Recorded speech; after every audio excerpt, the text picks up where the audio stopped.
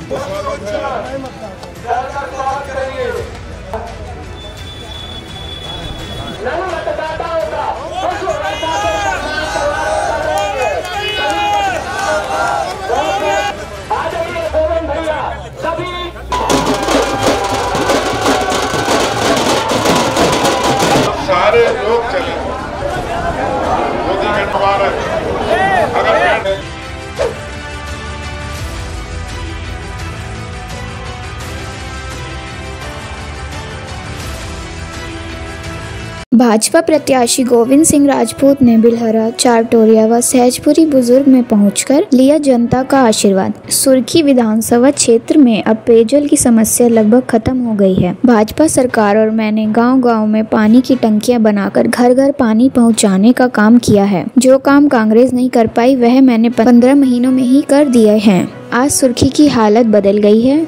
बिलहरा में shopping complex, सड़क नल जल योजना जैसे महत्वपूर्ण विकास कार्य कराए जा रहे हैं। क्षेत्र में जहाँ सड़कों का जाल बिछ गया है, वहीं स्वास्थ्य सेवाओं में भी वृद्धि हुई है। स्कूल, कॉलेज के भवनों का निर्माण कराया है। इसके अलावा युवाओं को प्रदेश में सरकार की सीखो, कमाओ योजना के तहत प्रशिक्षण देकर काबिल बनाकर रोज़गार देने का काम भी किया है। यह बात सुर्खी विधानसभा क्षेत्र में भाजपा प्रत्याशी गोविंद सिंह राजपूत ने कही। राजपूत शनिवार को क्षेत्र के ग्राम बिलहरा, चारटोरिया व सहजपुरी बुज़ुर्ग में जनसंपर्क कर रहे थे। राजपूत ने कहा की आने वाले दिनों में बिलहरा, चारटोरिया व सहजपुरी बुज़ुर्ग सहित सामूची सुर्खी विधानसभा में विकास के लिए वह सब कदम उठाए जाएँगे जो यहाँ के लिए ज़रूरी हैं। देश में भाजपा की सरकार है तो प्रदेश में भी भाजपा की सरकार बन रही है।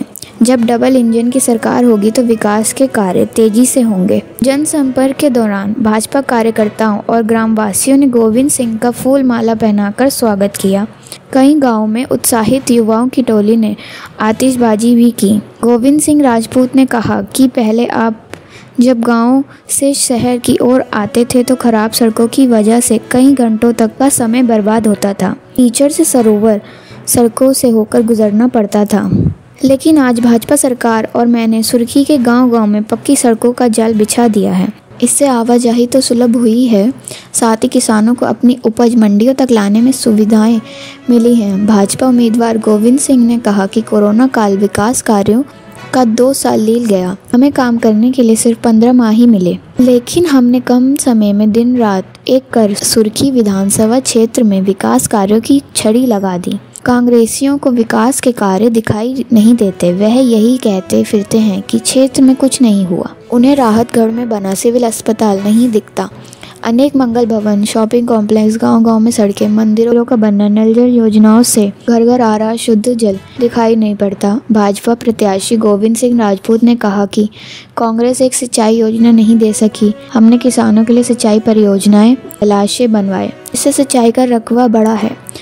भाजपा उम्मीदवार गोविंद सिंह ने कहा कि मैं आपको भरोसा दिलाता हूँ कि मैं और मेरा परिवार जीवन भर आपकी सेवा करता रहेगा। गाँव में जनसंपर्क के दौरान गोविंद सिंह ने महिलाओं बुज़ुर्गों और पुरुषों से आशीर्वाद लिया और युवाओं का साथ भी उन्हें मिल रहा है। इस अवसर पर भाजपा कार्यकर्ता पद अधिकारी समेत अनेक ग्रामवासी उपस्थित थे। बने रहे द खबरदार न्यूज़ के साथ धन्यवाद।